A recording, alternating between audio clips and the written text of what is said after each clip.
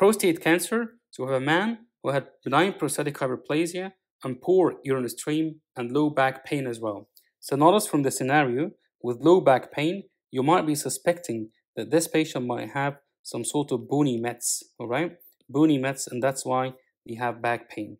So in this particular scenario, we need to focus on how to take a biopsy uh, from the prostate and whether there is any complication of this biopsy and also why do we do it in a different way or in a certain way. We also need to talk about a tumor marker that is known in the prostatic uh, cancer, which is prostatic specific antigen. And we need to know that despite it's called prostatic specific, it's not very specific, and this is a misnomer as well. And we also need to talk about a little bit about the bony metastasis. And finally, we need to cover as well the grading system and um, um, uh, also about the, the receptors that is found in the tumor and the role of androgen in treating prostatic carcinoma. So, the first question is asking how do we take a, a biopsy from the prostate? So, obviously, the you will have the uh, the, the urethra and the uh, prostate just in front of a rectum in a male patient. So we can do it under ultrasound guidance, which is the normal protocol. So we'll go by the ultrasound through the rectum. So it's a transrectal ultrasound guided, and you can go from the probe through the urethra and take multiple samples, which usually take around 12 samples from the prostate. And they're usually taken from the, the mid sagittal plane and the apical and the mid gland and the base as well. So we're trying to take 12 samples. And the reason we do that, we take like very high amount of sample because the probe is a small and you will usually take a small amount every time you try to take some samples. And it's usually mixed with other tissue as well, which could be normal. And the malignancy change usually subtle. And that's why we need to take multiple samples to make the, our scoring uh, system. And the benign condition can be easily confused with malignancy. So again, we do the, uh, the biopsy with transrectal ultrasound guidance. We take multiple biopsies, around 12 samples, from the parasagittal plane or the midline, which is apical and mid lobe, and also the base of the lobe as well. Okay, and you can also move to the peripheral zone as well to take some samples out of the 12 samples. What are we going to do with these 12 samples? We're going to start by grading them looking at all of them and see the two most common structure. And then, so two most common structure or the two most common samples, and then we start to grading them from one to five. And the sum of both of them would be the whole score of this type of cancer, and this is called by Gleason score. All right, and that's a question that's coming in here. So the question is asking about the prostate cancer grading system. It's called the Gleason score, so we're going to grade the tumor from 2 to 10, and the pathologist allocate number uh, uh, uh, of from 1 to 5 to the most common histological pattern in the specimen. So yeah, like we said, we took, I mean, actually this could be from 2 to 12 because we took 12 samples, and then we grade each, the two most common samples from 1 to 5, and the sum of these will be the Gleason score.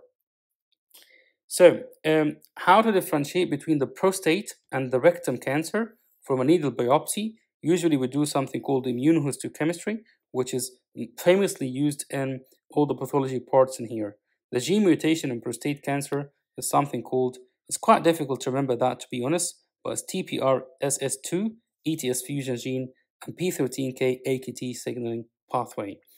The PSA is not really reliable, and we mentioned that prostatic specific antigen, it is not specific or not that specific, it's quite a useless test.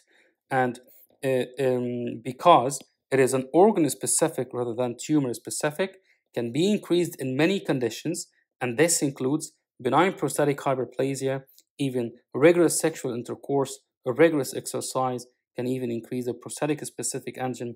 That's why we should not rely on its results to diagnose the prostatic carcinoma. And also, the test to, uh, we mentioned earlier that the patient had some bone pain, all right? So we can do alkaline phosphatase, which will tell us if this patient might have metastasis and it will be significantly be elevated. We know that bony metastasis can be one of two things, whether it's a scler sclerotic uh, metastasis or lytic metastasis or lytic lesions. Lytic can happen in very wide range of types of cancer, including breast cancer and also the ovarian cancer, the um, and any other type of cancer really, thyroid and uh, renal and so on can cause lytic lesions and multiple myeloma as well. But in a sclerotic lesion, it's usually the prostate. Sclerotic means you're doing bone deposition, and lytic lesions, you're doing basically bone resorption. All right. So here it's osteoclastic activity, and here it's osteoblastic activity. All right. So the biopsy, there is one thing that we are really afraid of taking away. So we talked about the biopsy very quickly, and we know how to take it, and the site, and it's under ultrasound. We take 12 samples. We explained why we take 12 samples and how to score it. But here comes the role of the complications from uh, this biopsy. The main thing is actually introducing an infection by a gram-negative uh, um, uh, such as E. coli. So UTI is the most feared thing, and the patient might have temperature and increased white blood cells and neutrophils, and the commonest organism is E. coli. So when we're assessing the tumor, basically like we explained before, we look for the gross pathology and also for the microscopic picture. And one of the things that we look for is presence of any receptors. And this is particularly important in breast cancer, if you remember that. So, for example, the estrogen and progesterone and also the HER. So here it's quite similar. The receptors in prostate cancer could be androgen. So the tumor could be dependent on the androgen production, like such as testosterone, and will uh, gain its ability to grow from this androgen. So sometimes we do something called androgen deprivation of this tumor because the tumor growth will be dependent on this androgen production. So uh, doing orchidectomy, orchidectomy, bilateral orchidectomy will significantly decrease the production of androgen and consequently the tumor can decrease in size and the androgen or the testosterone is produced by Leydig cell from the testis. Thank you very much. That covers the prostatic specific antigen and next, uh, sorry, the prostatic carcinoma. And the next part will be the testicular cancer or the testicular lymphoma as well.